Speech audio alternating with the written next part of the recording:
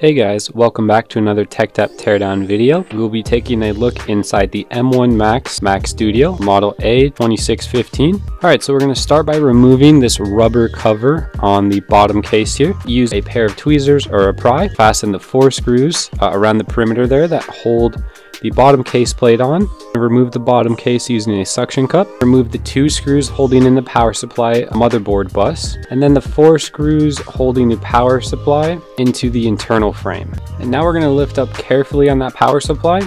There are two cables that are connected underneath the power plug uh, that runs from the wall outlet right there into the power supply. Unclip the lever and pull it out. And the bottom cable there is the power supply signal cable that runs to the main board there. We're to remove the eight T6 black screws that hold this internal frame to the housing. Pull out that internal frame plate and set it aside. Alright, so now we're going to go ahead and unplug the power supply signal cable from the motherboard. Plug the three Wi-Fi antenna cables. Unplug the cooling fan flex cables from both sides of the motherboard unfasten the M.2 SSD, and remove the front panel Type-C connectors. Remove the screws that hold the ports to the housing.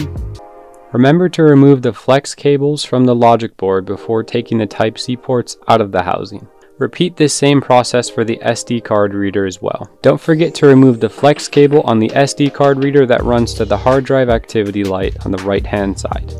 If you're looking for any parts or tools, check out the links below. If you're interested in mail-in repair or data recovery service, check us out at tekdep.com. We do it all every day. Unplug that flex cable that is underneath the cover. Remove the internal speaker, unplugging the power button flex cable from the board. Remove the two screws holding the retention bracket over the flex cables, and unscrew the last two screws holding the board in place. Unplug the flex cables that hold the board uh, to the main board there.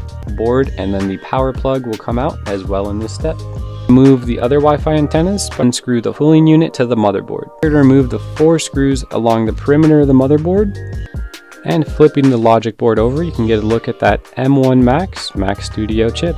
And after removing the fans, we can finally access the T5 screws that hold that third Wi-Fi antenna in and remove them. Thank you guys for watching. Leave a like, comment, and subscribe.